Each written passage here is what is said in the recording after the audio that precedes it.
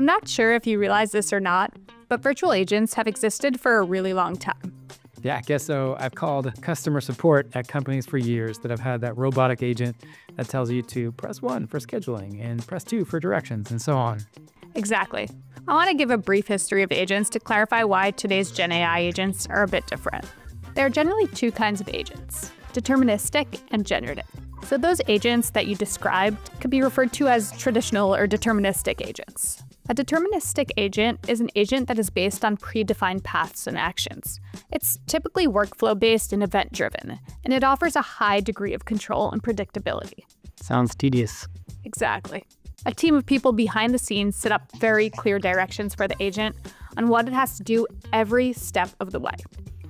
These may be very complex directions with lots of decision trees and different logic, but they are deterministic in that the same input will always provide the same output unlike generative agents, which have a bit more randomness and creativity to them and might give different answers to the same input. True. Now, the thing about deterministic agents is that, in addition to being extremely tedious to build, they're not always effective. Because when you think about those virtual contact center agents, what happens when you have an atypical question or say something it doesn't quite understand? Complete failure, and it's extremely frustrating. And usually, when I start yelling at the phone, speak to a live agent, Speak to a live agent. Yeah, exactly. Thinking back to our breakdown of the agent components from a previous course, these deterministic agents only contained one or two components of the agent the reasoning loop and the tools.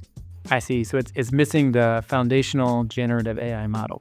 Basically. I don't want to simplify it too much because in many cases it was still using AI to convert your speech to text, then some AI for understanding the text and matching it to a list of potential intents of what you meant, usually by matching some common keywords. Then it might have also used AI to speak back to you.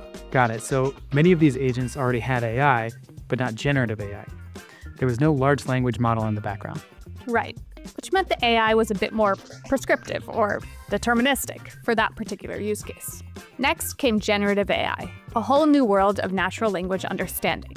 Now agents were really brought to the next level. Instead of just recognizing keywords, these agents can actually understand the meaning and intent behind your words. So if you ask a question in a roundabout way, they can still figure out what you're trying to do. This allows for much more natural and flexible conversations. If we go back to the components of the agent, you can now see a reasoning loop, tooling, and the model added in there.